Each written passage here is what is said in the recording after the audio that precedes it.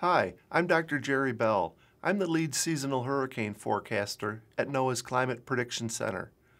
Last year's Atlantic hurricane season produced some devastating storms, with the landfall of both Florence and Michael. Also last year, the combined eastern and central Pacific hurricane regions were incredibly active and produced 23 named storms throughout the season. This year's 2019 Atlantic hurricane season which runs from June 1st through November 30th, is almost here, so it's time to start getting prepared. Here at NOAA, we're predicting a 40% chance that the 2019 Atlantic hurricane season will be near normal. There's a 30% chance of the season being above normal, and also a 30% chance of the season being below normal. Overall, this year's outlook reflects competing climate factors. The ongoing El Nino is expected to help suppress the activity, in contrast, warmer than average sea surface temperatures in the tropical Atlantic Ocean and an expected stronger than normal West African monsoon favor increased activity. As we saw last year, it takes just one storm to do tremendous damage. Hurricane Florence in September 2018 brought record rainfall, which produced significant inland flooding in the Carolinas. Hurricane Michael made landfall in the Florida Panhandle as a quick developing Category 5 storm, and left a wake of destruction in its path. These two storms alone resulted in close to $50 billion in damage, and more than 100 lives were lost.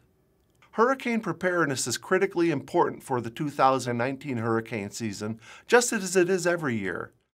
NOAA works closely with our partners to help emergency managers and communities make targeted decisions to support public safety.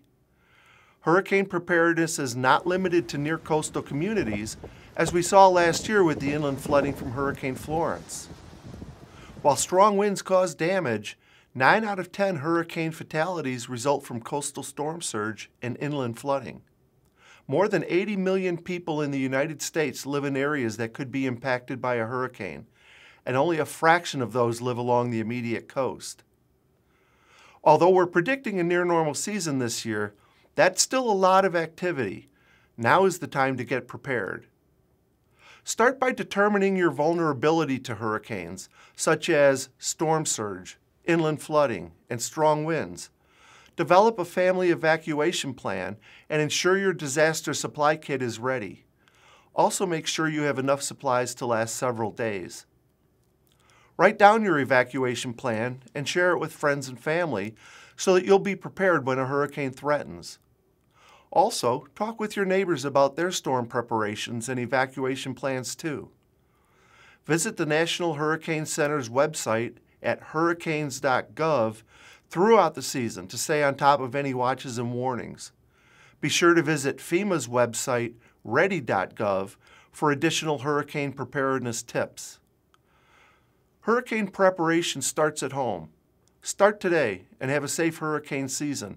Together, we can build a more weather-ready nation.